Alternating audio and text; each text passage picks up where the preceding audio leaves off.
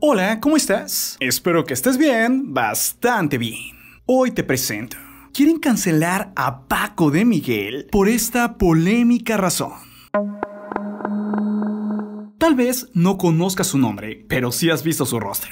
Y es que realmente este actor y comediante ha hecho muchos videos que se han vuelto tendencias, sobre todo donde parodia personajes de la vida cotidiana.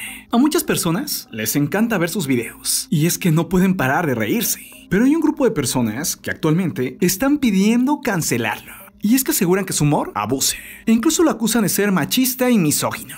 Empecemos diciendo que Paco de Miguel empezó a hacer videos desde hace ya mucho tiempo. Comenzó en Vine, una red que actualmente ya ni siquiera existe pero después se pasó a TikTok y en plena nueva enfermedad alcanzó un gran éxito.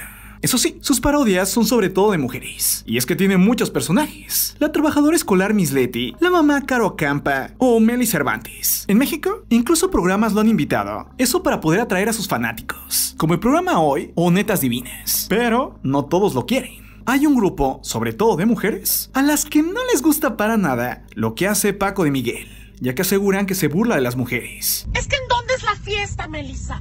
No, a ver, yo no veo ningún 174.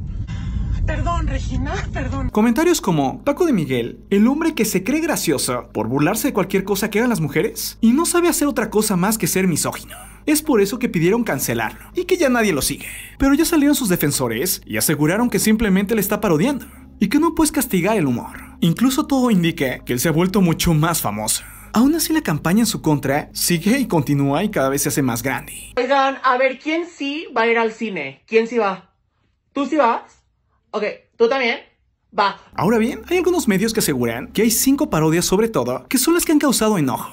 La primera es Mamá de la Sociedad de Padres de Familia. Ahí Paco interpreta a una madre que va a una junta escolar. Lleva peluca, bolsa y está maquillado. Ahí es criticado por los movimientos y ademanes exagerados que realice.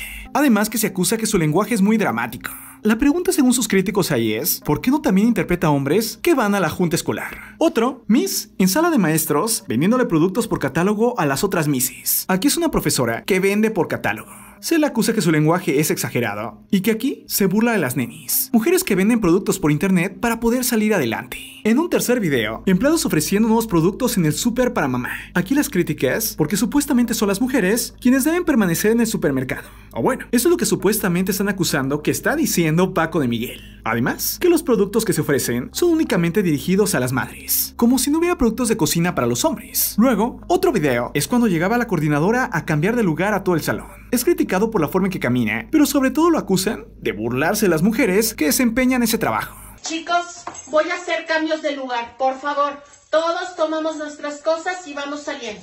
Y por último, el video como cuando mamá presume la nueva comprita a sus amigas. Ahí Paco de Miguel imita a una mujer que acaba de comprar una freidora de aire, pero que no sabe utilizarla. Eso sí, quienes lo acusan dicen que estos cinco videos solo es la punta del iceberg. Es una freidora de aire. Está nuevecita, nuevecita. Hice el pescado.